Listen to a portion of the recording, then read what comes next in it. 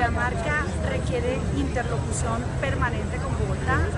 La candidata y los candidatos de Bogotá se comprometieron y vamos a tener una visión regional única.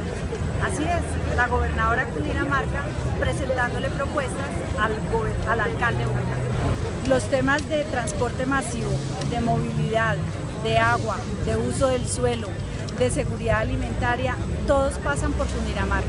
No puede ser que sigan peleando el alcalde de Bogotá y la, y la gobernación de Cundinamarca y los municipios. Vamos a armonizarnos y a trabajar todos por la misma región. Y creo que debemos construir tres puntos para la innovación. Innovación social, innovación rural e innovación productiva. Más de 120 mil familias víctimas reconocidas en Cundinamarca. Más de 50 mil están en Suacha.